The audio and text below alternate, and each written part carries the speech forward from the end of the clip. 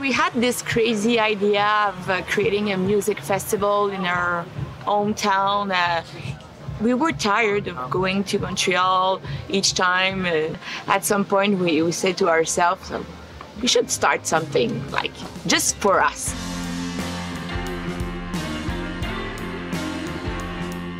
I had never heard of Rouyn-Noranda before. They were like, oh, okay, it's a festival kind of like in this small town up north. And when we got there, it was this massive thing.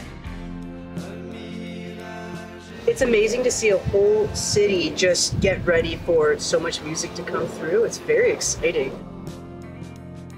It's a meeting of all these incredible new artists doing these new things that might not work unless you put it in that whole environment.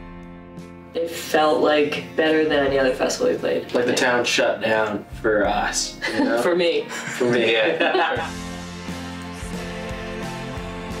There is an equal representation of Anglophone and Francophone music.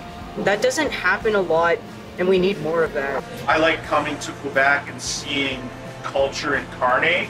And then as Indigenous people, we want our languages to be respected as well. and it's been amazing. Like it is a wicked party. The shows everywhere that are so different. It's one of the, the best kept secrets of uh, Quebec. Only in Quebec could this happen. Like Quebec has an amazing music scene. We've been trying to tell you that for like uh, 400 years, guys. But, it's about time, man. It's about time.